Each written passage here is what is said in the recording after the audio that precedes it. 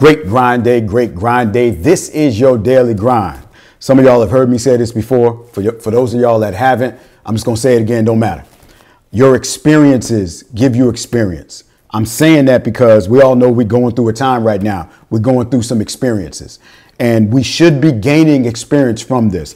I was speaking with a client the other day, and she had started her first job at 23 years old. She came into the job very raw, um, young, um, didn't have uh, no really college background education at all. And she thought that that job was going to be it for her. She thought that she was going to retire from that job. Come to find out, the job only went 12 years, not because she, she got fired, but because she wanted to run her own business.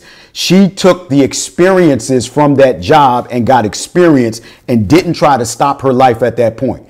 And what I'm saying to y'all and us is allow your experiences to give you experience. Allow the experience of this Rona time to give you some experience so you can grow to where you're supposed to be.